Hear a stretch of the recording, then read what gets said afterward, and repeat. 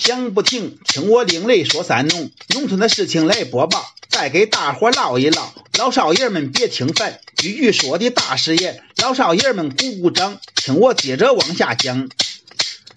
农村儿时记忆中，夏天过得不轻松，夏天非常的漫长，收麦季节最繁忙。收麦季节去下地，晒得大汗都淋漓，买来几只老冰棍，绝对凉爽对口味。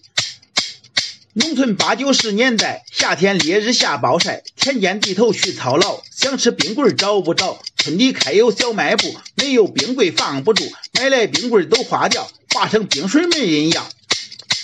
每年六月收麦季，烈日炎炎去下地，太阳底下温度高，炙热太阳似火烧。那时收麦都用镰，一把一把来割完，三下生产不停歇，最少需要一个月。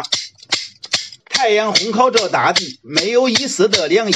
远处传来叫卖声，感觉格外的动听。卖冰棍卖雪糕，赶快去把零钱掏，找上几毛的零钱，来到卖冰棍面前。骑着二八自行车，白色箱子后面搁两个红色的大字，冰糕大家都认识。这个季节受欢迎，雪中送炭来形容。炎炎夏日卖雪糕，全都自愿掏腰包。冰棍五分刚刚好，奶油雪糕要一毛。打开冰糕箱子盖，白色被子包冰块，白色被子上面盖，里面还有塑料袋。拿出冰棍冒热气，送到孩子的手里。迅速扎好塑料袋，再把被子重新盖，盖上冰糕箱子盖，避免烈日的暴晒，避免雪糕被晒化。化成冰水谁买它？那边也有人搭腔，三下五去二卖光。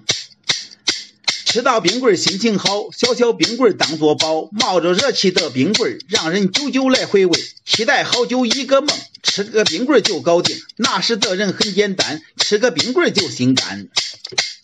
改革大潮浪翻滚，雪糕不是奢侈品，随便走进哪家店，琳琅满目都看见各种口味的雪糕，让你赶快把钱掏。儿时冰棍成过去，变成美好的回忆，那个的回忆。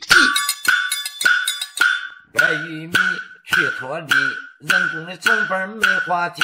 这样算来又算去，一季的功夫费进去呀。种上十亩大玉米，买不到一个苹果期。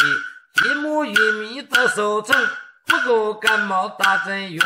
农民播种下希望，收获一地的凄凉。